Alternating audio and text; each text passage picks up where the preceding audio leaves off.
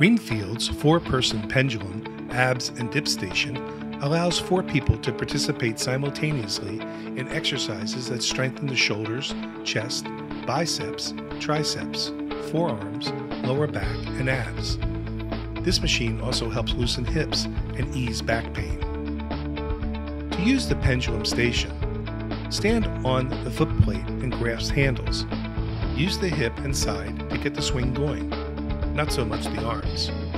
Swing legs side to side while tightening the stomach muscles. To use the leg lift station, stand facing away from equipment.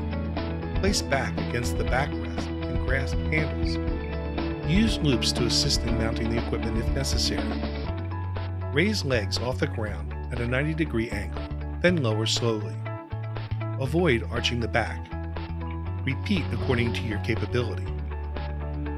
Use the dip station, jump up if necessary. Grasp bar so the arms are straight and the body is hanging. You may have to bend your knees. Bend arm to lower body and return slowly to start position. Repeat according to your capability.